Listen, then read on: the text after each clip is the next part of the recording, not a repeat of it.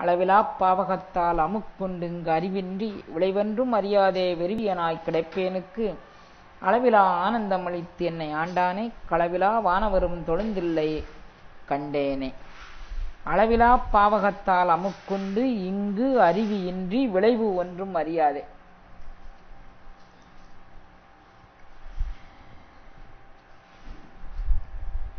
இறைவனுடைய தன்மை என்ன? அதை அறிந்து கொள்ளும் வகை தொகை என்ன?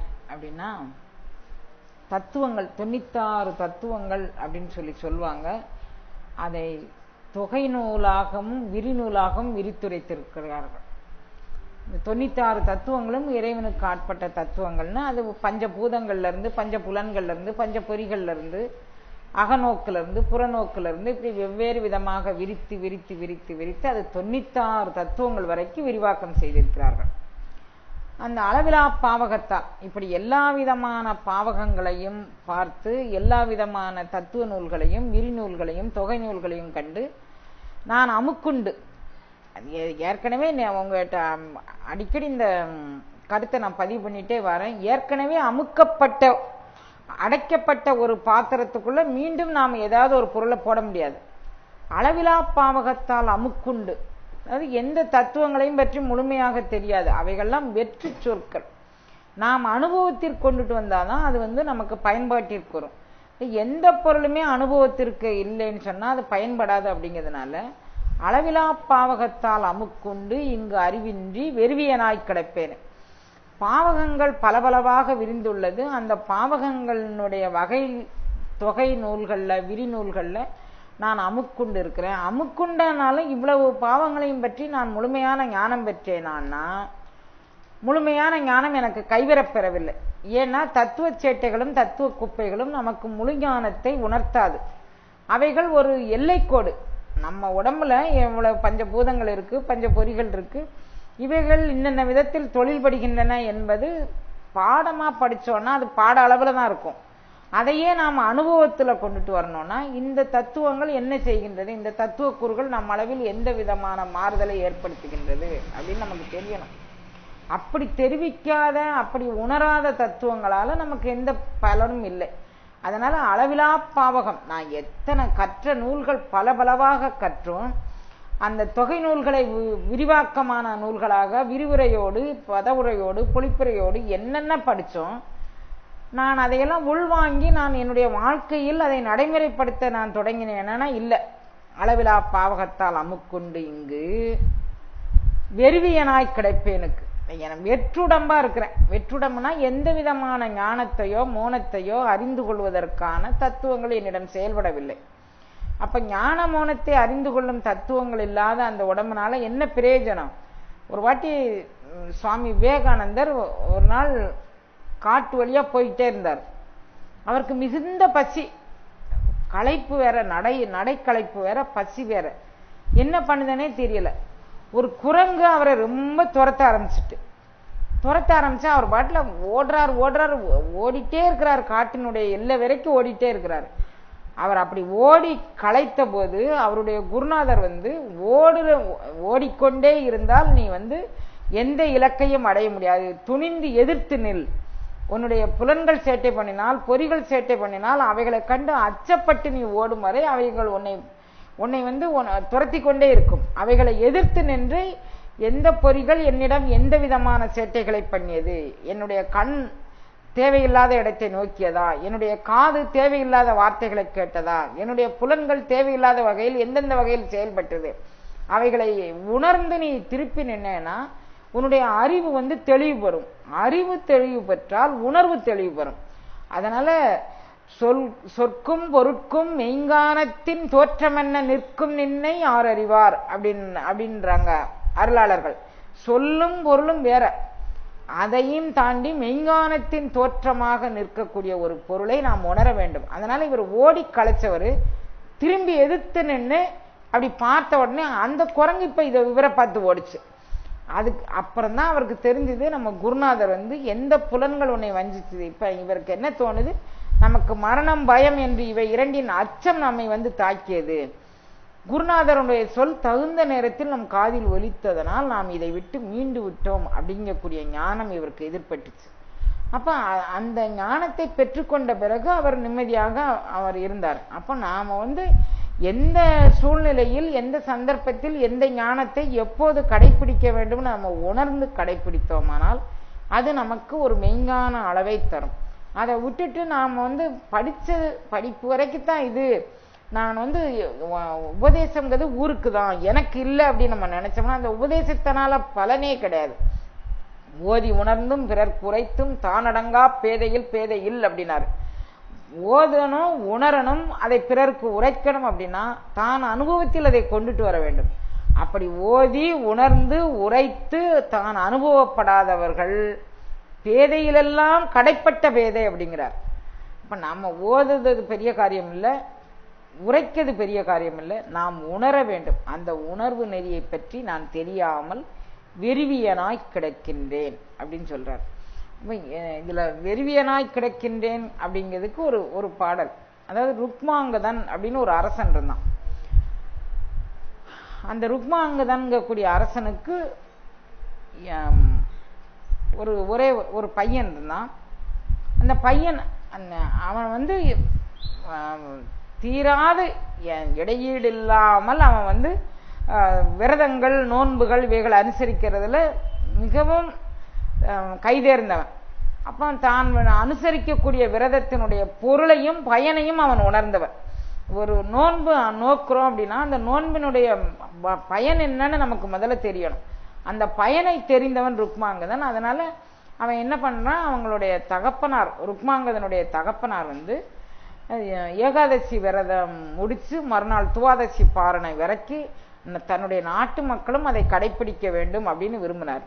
அதனால தன்னுடைய நாட்டு மக்களுக்கெல்லாம் ஏகாதசிக்கு முதல் நாளே பறை அறிவித்து செய்தி சொல்வார். ஏன்னா அவங்களுக்கு பல வேலைப்பளு இருக்கும். அவங்க கொண்ட கொள்கையில் நிலை நிற்பதற்கு அரசன் உதவியாக இருக்க வேண்டும். அதனால் அவன் பறை அறிவித்து செய்தி சொல்வான். இப்போ நான் வந்து என் நாட்டில் ஏகாதசி விரதம் அனுசரிக்கணும். ஏகாதசி விரதத்துக்கு முதல் நாளே வீடு வாசல்லாம் சுத்தமாக கழுகி மெழுகி சுத்தப்படுத்தணும். அதனால் நீங்கள் எல்லா மக்களும் நாளை ஏகாதசி விரதம் இருக்க விரும்புகிற மக்கள் எல்லாரும் நீங்கள் உங்களை சுத்திகரம் பண்ணிக்கொள்ளுங்கள்னு அவர் தகவல் கொடுப்பார்.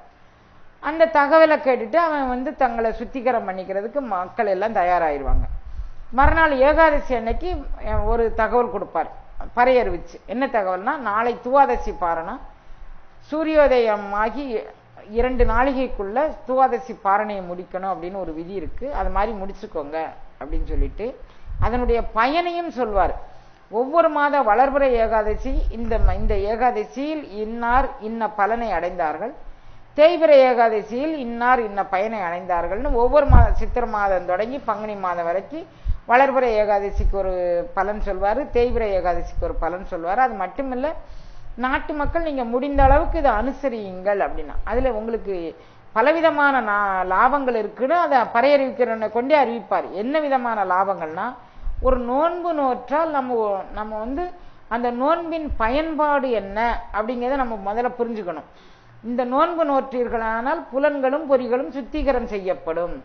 நீங்கள் வந்து ம- மாயையால் நம்ம உடம்பு வந்து இருளாராக்கை இது பொறுத்தேன் அப்படிம்பார். இருளாராக்கை. இதுல வந்து திரோதான மாயைகள் அனைத்தும் அடைந்து நம்மளுடைய எண்ண குவியல்கள் சிந்தனை குவியல்கள் நாம் வந்து எதை எதை அடையணும் எதை உணரணும் அப்படிங்கிறது தெரியாமல் அவை குழம்பி போயிருக்கும்.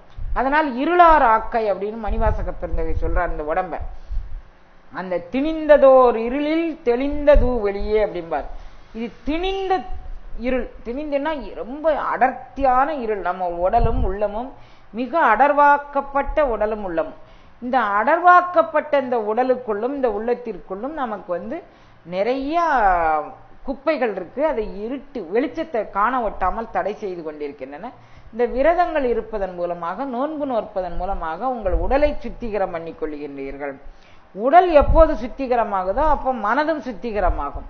மனது எப்போ சுத்திகரமாகுதோ அப்போ நீங்க வெறுவியனாய் இருக்க மாட்டீர்கள். உங்கள் மனதிற்குள் போடும் விதைகள் உங்கள் உடலுக்குள்ள போடக்கூடிய எண்ணங்கள் சிந்தனைகள் அவைகள் முளைத்து பலன் தர ஆரம்பிக்கும். அதுக்கானதான் இந்த நியமங்கள் விரதங்கள் பூஜைகள் இவைகள்லாம். அதனால இங்க எல்லாரும் இந்த விரதத்தை இந்த நோன்பை அனுசரியுங்கள் அப்படின்னு சொல்லி அவர் சொல்வார்.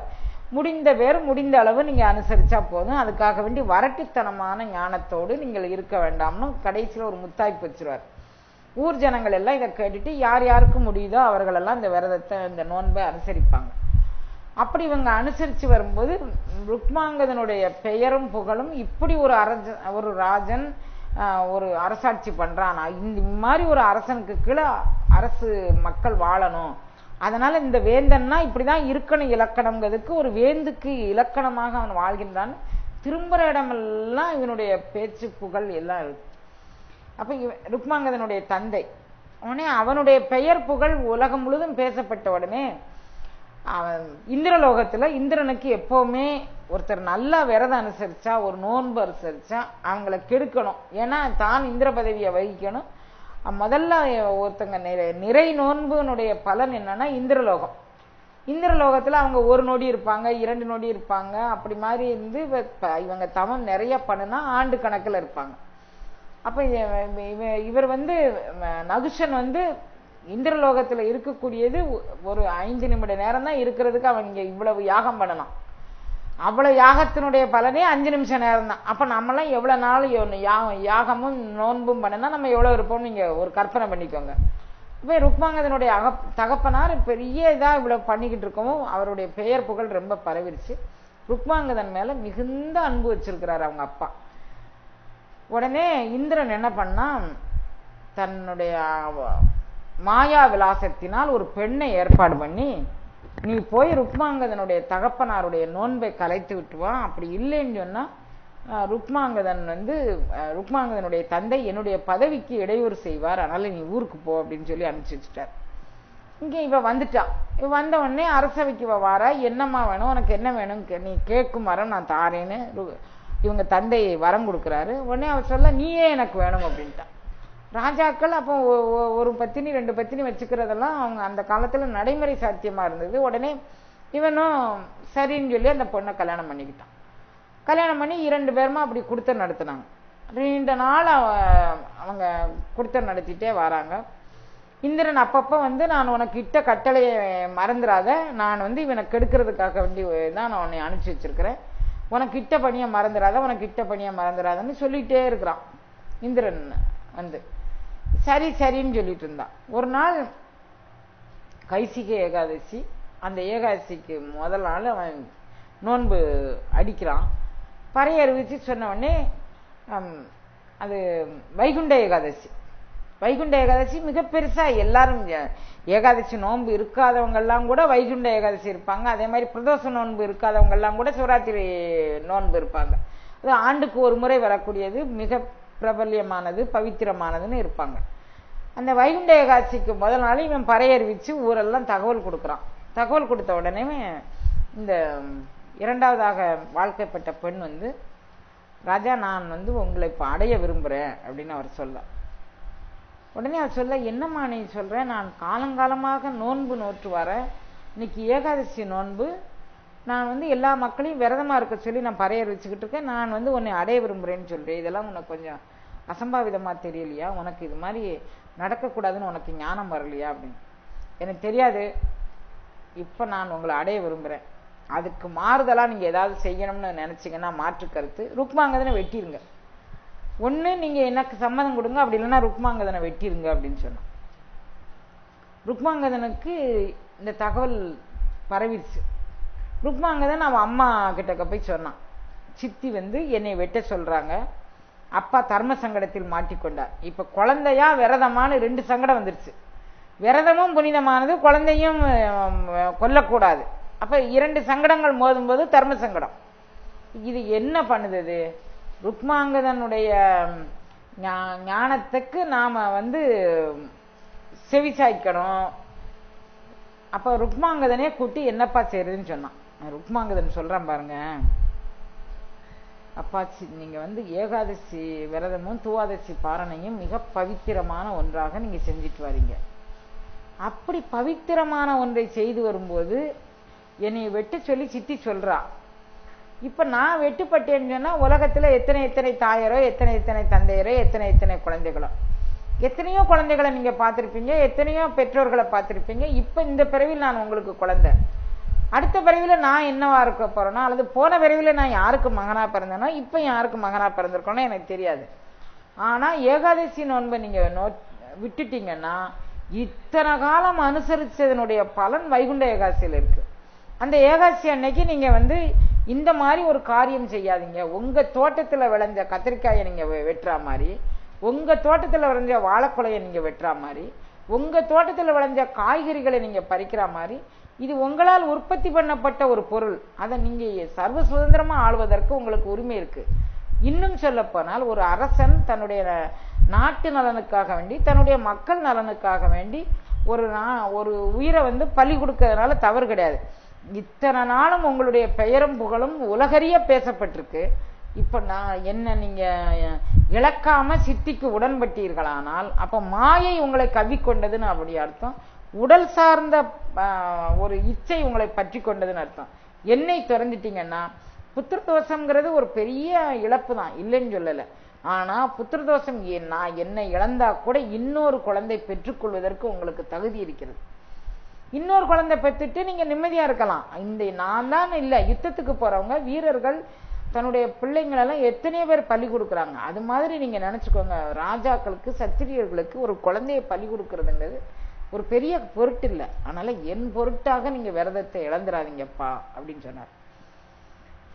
இவன் வந்து டார்ச்சர் பண்ணுறான் நீ வந்து உன்னுடைய பையனை வெட்டு இல்லாட்டி நான் வந்து எனக்கு உடன்பாடு செய். உன்னை பையனை வெட்டு இல்லாட்டி உடன்பாடு செய் ருக்மாங்கதனுடைய தாயார் வந்தா. அவ சொன்னா நானே போனாலும் பரவாயில்ல. என் பையனே போனாலும் பரவாயில்ல. உங்களுடைய தர்மம் ஒரு நாளும் மீறக்கூடாது. அதனால் நீங்கள் அதில் நிலைத்து நில்லுங்கள். நீங்கள் எங்கள் ரெண்டு பேரைனாலும் வெட்டிக்கோங்க.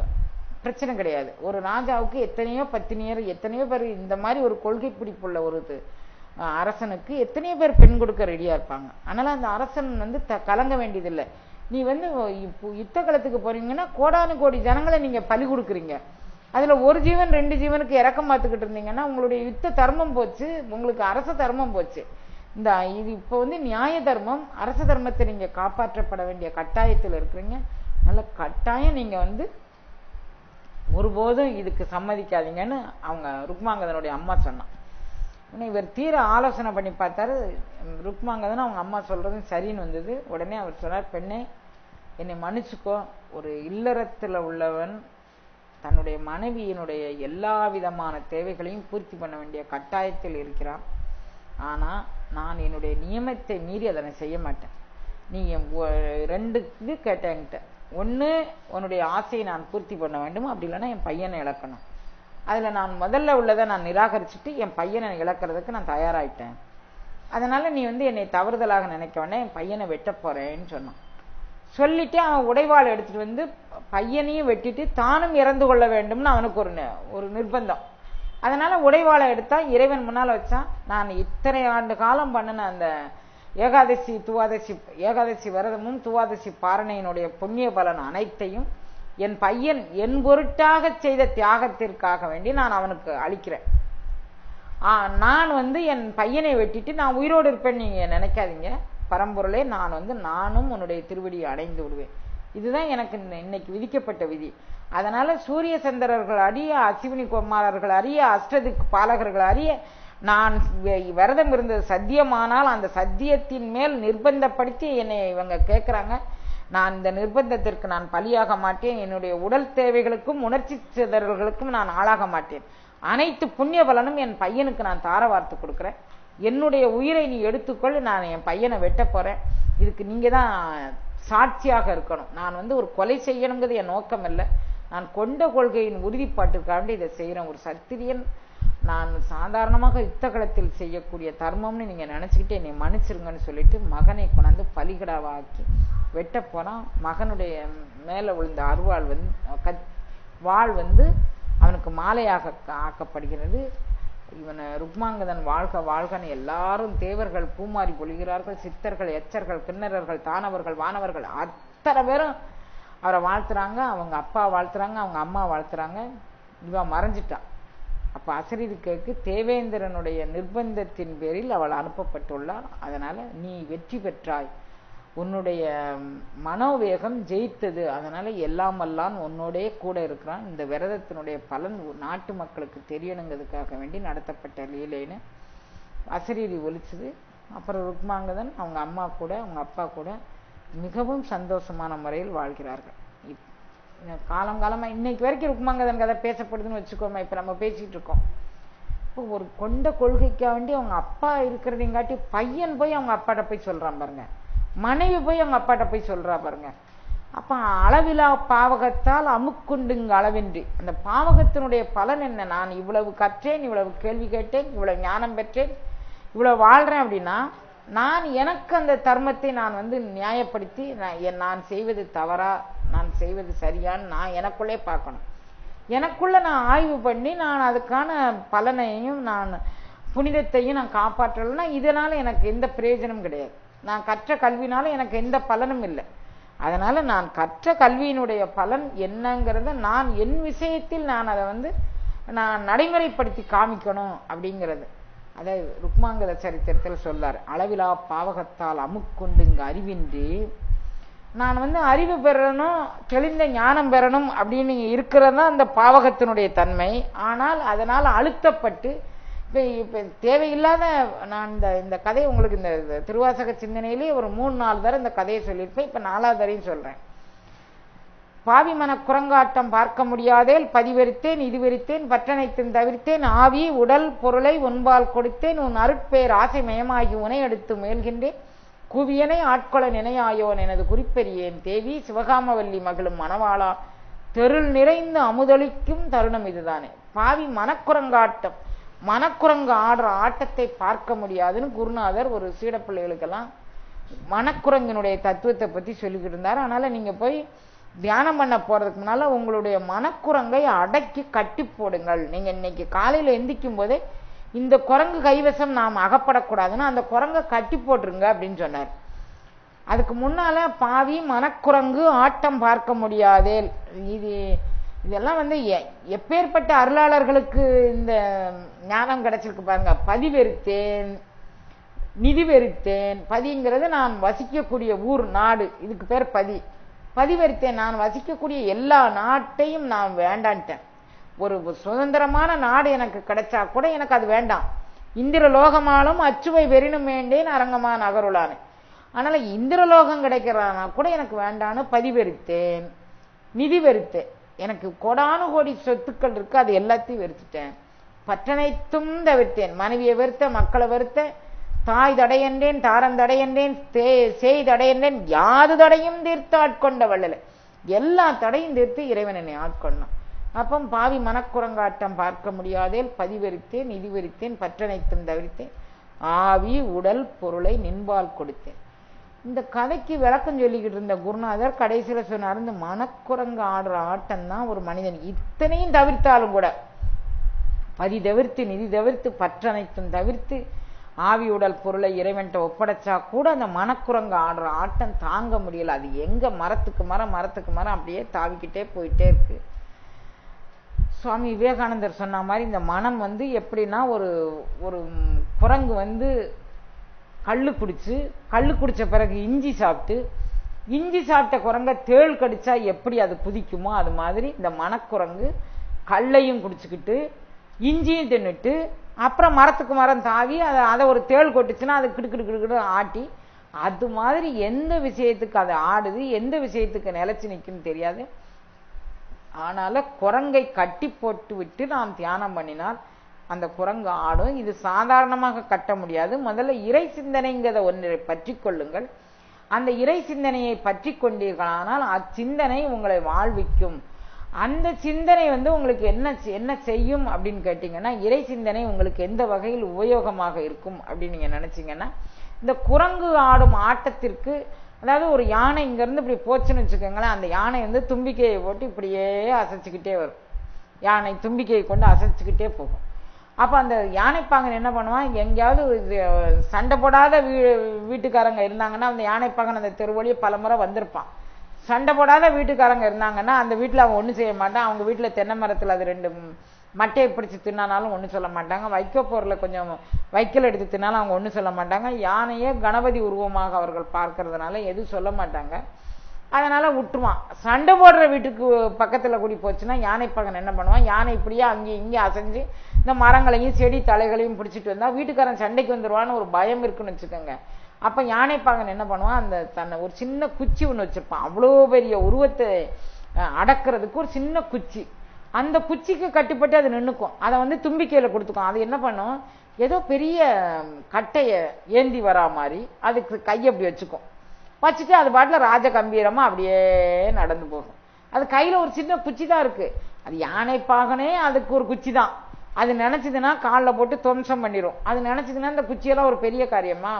ஆனால் சத்தியத்துக்கு கட்டுப்பட்டு அது அப்படியே இப்படி தூக்கிக்கிட்டு வரும். அது மாதிரி யானைப்பாகன் அந்த யானையாகிய பெரிய ஒரு மதம் பிடித்த ஆணவத்தாக்கம் கொண்ட ஒரு யானையை அடக்குவதற்கு ஒரு சின்ன குச்சை கொடுத்தா மாதிரி நீங்கள் மதம் பிடித்த மனதையும் மதம் பிடித்த உடலையும் மதம் பிடித்த உணர்வுகளையும் அடக்குவதற்கு இறை சிந்தனைங்கக்கூடிய ஒரு குச்சி அதில் செலுத்திருங்க.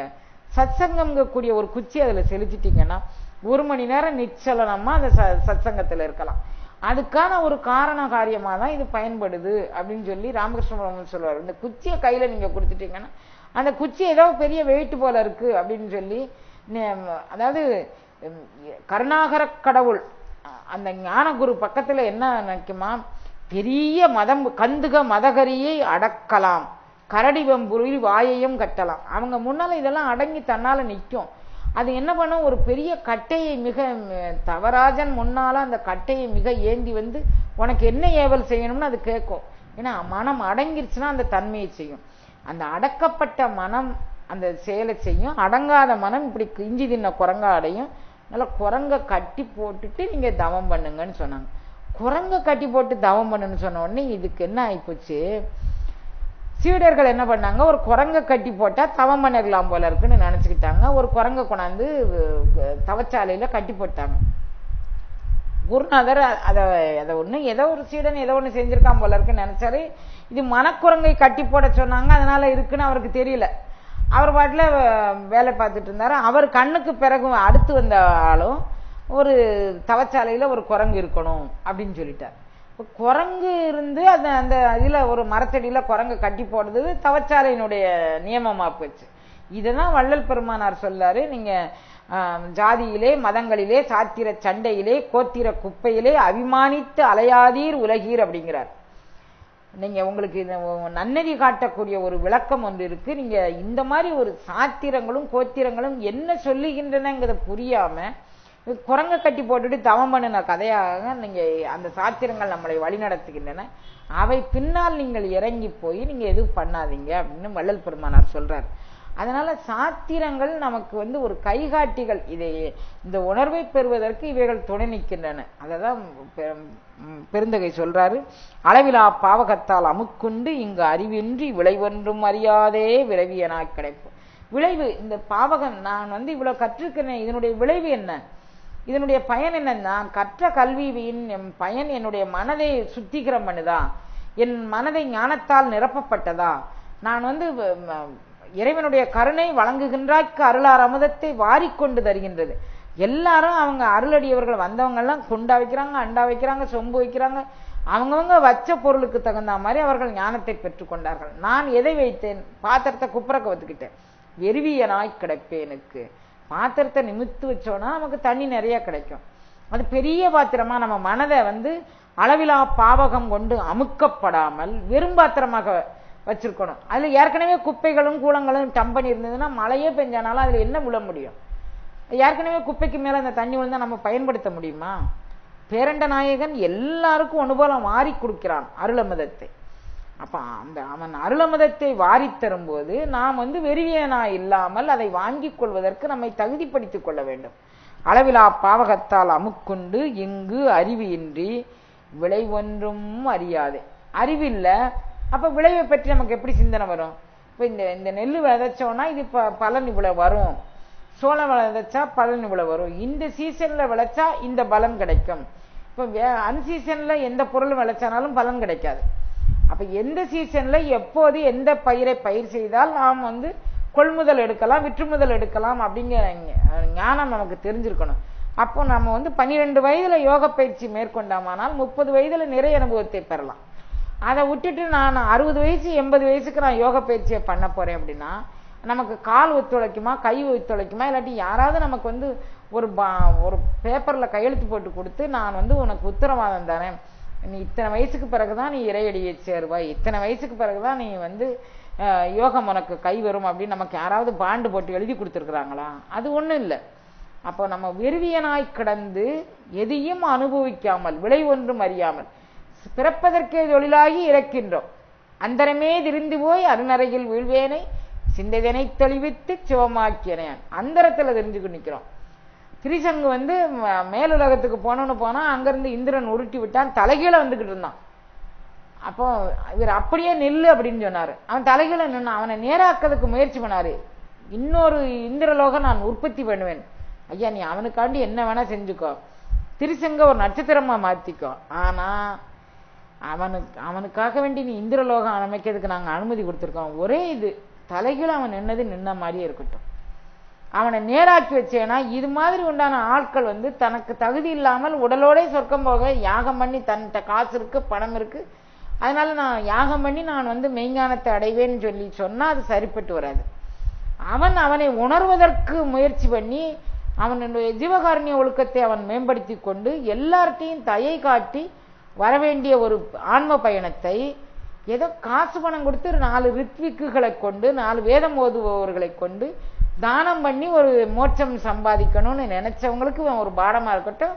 அதனால தலைகீழ அவன் நிக்கட்டும் அப்படின்னு. அதனால அவர் என்ன சொல்றாரு? நான் வந்து இந்த மாதிரி ப-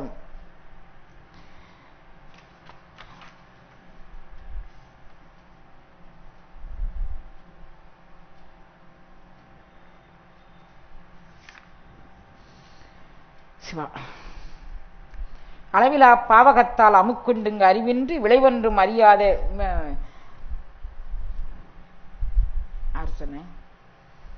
திருசுங்கு தலைகீழ தொங்கிக்கிட்டு இருந்தானா அவனுக்கு அந்த ஒரு பாடமாக இருக்கட்டும் அவன் தலைகீழாவே இருக்கட்டும் நாங்க ஒரு விண்ணப்பமா வைக்கிறோம்னு தேவர்கள் வந்து சொன்னாங்க. விஸ்வாமித்திரர் சரி போனா போகுது. ஏன்னா ஒரு இந்திரலோகத்தையே சிருஷ்டி பண்ணதற்கு இவருடைய தவத்தை பயன்படுத்திட்டாரு. அதை அழிக்காம குறைஞ்சபட்சம் இவனை ஒரு இதானாலும் விட்டாங்களே அப்படின்னு சொல்லி அப்படியே விட்டுட்டாங்க. இப்பவும் திரிசங்கு நட்சத்திரம் தலைகளை தான் தொங்கிக்கிட்டு நிற்கிது அப்போ நாம் வந்து ஜீவகாருண்ய பணி மூலமாகவும் இறைவனிடம் சமர்ப்பணம் பண்ணுவது மூலமாகவும் அடைய வேண்டிய ஞானத்தை நான் வேதம் மூலமாகவும் வேள்வி மூலமாக நான் பண்ணுவேன்னா அது சாத்தியம் இல்லை அப்படிங்கிறதத்தான் இந்த இதிகாசங்கள் புராணங்கள் நமக்கு உணர்த்துகின்றன. அந்த உண்மை பெருக்கமாம் தன்மையை நாம் உணர வேண்டும். ஏதோ ஒரு சம்பிரதாயத்துக்காக வேண்டிய ஒரு வேதம் சம்பிரதாயத்துக்காண்டி ஒரு வேள்வி சம்பிரதாயத்துக்காண்டி ஒரு சடங்குகள் இது இது எந்த நிலையை காட்டுவதற்கு இது பயன்படுகின்றன?